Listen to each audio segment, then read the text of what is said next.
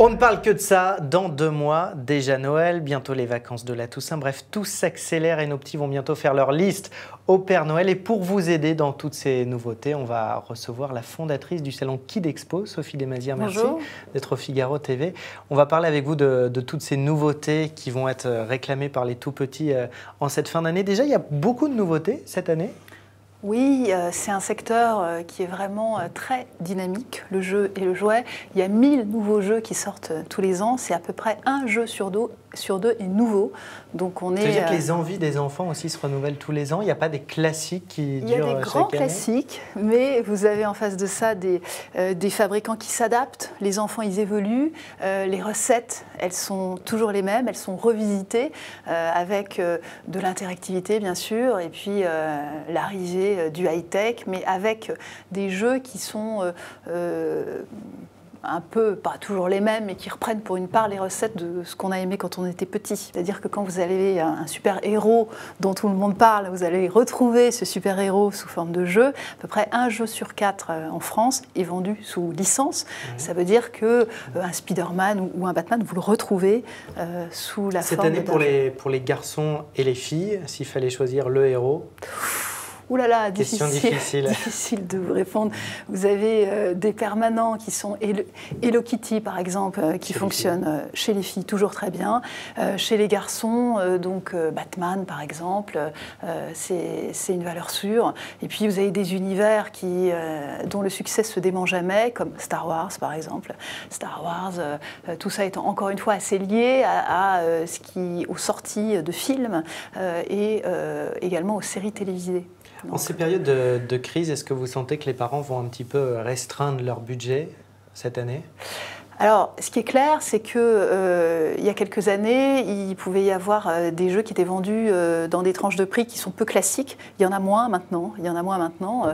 un jeu moyen, bah, c'est-à-dire dès qu'on est au-dessus de 100 euros. Vous voyez, c'est vraiment une, c'est une frontière qui se dépasse assez rarement. Donc, et d'ailleurs, les fabricants offrent et proposent moins de jeux dans ce genre de tranche de prix.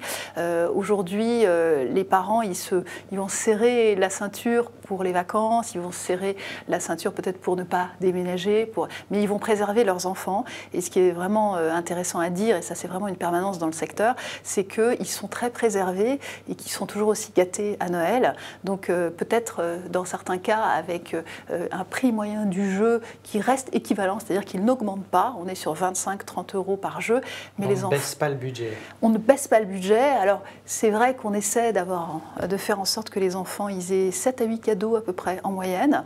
Euh, on se groupe, euh, mais on se mobilise pour qu'il euh, y ait donc au pied du sapin plein de jeux pour les enfants, peut-être moins de foie gras sur la table, mais les enfants, ils sont toujours Quel aussi gâtés. Quel budget, grosso modo, par enfant en France? Alors, le budget moyen de dépenses par enfant par an, c'est à peu près 250 euros. Donc, et donc, 60-70% de ce, de ce budget, c'est le dernier euh, donc, trimestre de l'année, donc c'est-à-dire la période de, Noël.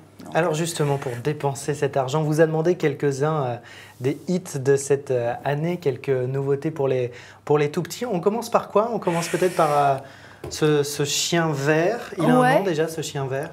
Alors, euh, il s'appelle Scout, ce chien vert. Donc, il a sa petite copine qui s'appelle Violette. Ça, donc, c'est typiquement, c'est pour du préscolaire. C'est ce qui s'appelle une peluche interactive. c'est pour les tout petits, c'est quoi, deux ans Ouais, c'est-à-dire que c'est pour apprendre. C'est quand, vous êtes encore dans la phase. Absolument, quand vous êtes dans la phase histoire, même si on l'est toute sa vie. Mais là, ce sont pour des enfants qui ne savent pas lire. Donc, 2-3 ans. Voilà. C'est l'heure de dormir. Ah. Voilà. Une histoire ensemble. Voilà. Appuie sur un bouton sur mon collier. Sur l'épargne des épargnants. Euh, et on sort en fait d'une phase euh, de, euh, zone grise où, il y avait. Qu'est-ce qu'on a d'autre, Sophie? On a, Alors ça, on a beaucoup aimé. Alors ça, vous aviez bien des voilà. Donc ça, c'est très amusant. Ça s'appelle un aval souci. C'est un jeu qui a, enfin c'est un jeu encore une peluche hein, qui a eu un succès fou en Allemagne, qui arrive en France. L'aval souci, on ouvre sa bouche comme vous voyez et il avale les soucis. Alors en fonction de la forme, là on a des grands, des petits, ils vont, ils vont avaler des, des soucis plus ou moins grand. Et c'est typiquement pour s'endormir, en fait. On lui parle. Voilà, on lui parle. Et puis surtout, on écrit, et puis on avale, et c'est terminé. Donc les psychologues trouvent que c'est formidable. Et cette peluche. Ça marche pour les grands au bureau Ça, marche aussi pour les grands. Ça marche aussi pour les grands. Le phénomène qu'il y a eu en Allemagne, c'est qu'effectivement, au départ, c'est les tout petits qui ont adoré, mais il y a plein d'ados qui ont des aval soucis maintenant pour des soucis un peu plus grands. donc, mais il paraît ça, que ça souci, ça coûte combien? Ça, je crois que c'est une trentaine d'euros. Une trentaine d'euros.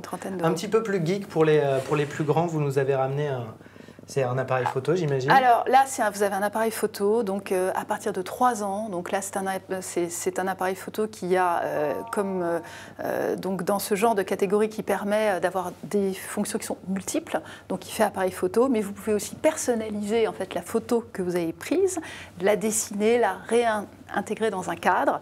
Euh, et puis, vous pouvez ensuite télécharger tout ce que vous avez fait sur votre ordinateur. Vous avez exactement comme les grands, euh, les mêmes fonctions, sauf que c'est adapté à partir de, 3 ans. Par exemple. Voilà, vous pouvez faire une photo de scout et ensuite on pourra scout, euh, si on veut le redessiner, puis crayonner dessus et, et, faire tout ce qu'on veut derrière. D'accord, très bien. Ça, ça coûte combien? Ça, c'est 100 euros. Je ne sais pas encore trop m'en servir. Donc 100 euros, là, on est déjà dans la gamme un petit peu haute. Euh. On, est dans une gamme euh, euh, supérieure, mais avec des produits qui sont faits pour durer, qui, sont, qui ont des vertus pédagogiques. à partir de quel âge? Donc à partir de 3 ans. À partir de 3 ans. À partir de 3 ans.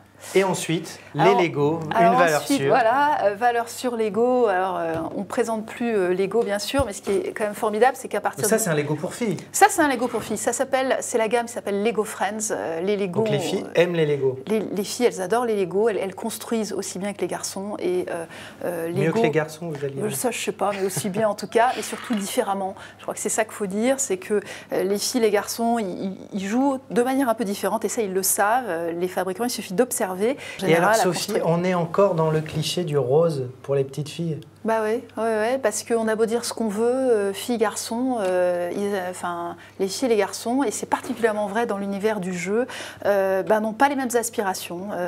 Lego Friends, pourquoi ça marche aussi bien? C'est parce que la brique, elle est devenue rose, c'est parce qu'il y a des filles à l'intérieur et que les filles, elles discutent, que les filles, elles sont stylistes, vétérinaires, etc. Mais c'est un univers qui parle aux filles. Hein, qui parle aux filles, c'est le principe de construire, d'imaginer, ça c'est commun aux enfants, mais en revanche, c'est personnalisé à l'univers des filles. Ça coûte combien par exemple un bateau comme ça?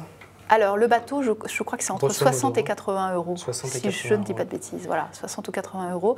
Merci beaucoup, Sophie, pour cet aperçu. Puis on voit l'intégrale euh, Kid Expo, porte de Versailles, du 19 au 23 octobre à Paris. Merci beaucoup pour toutes ces infos. On est euh, paré pour Noël et nous on se retrouve très vite sur le Figaro.fr.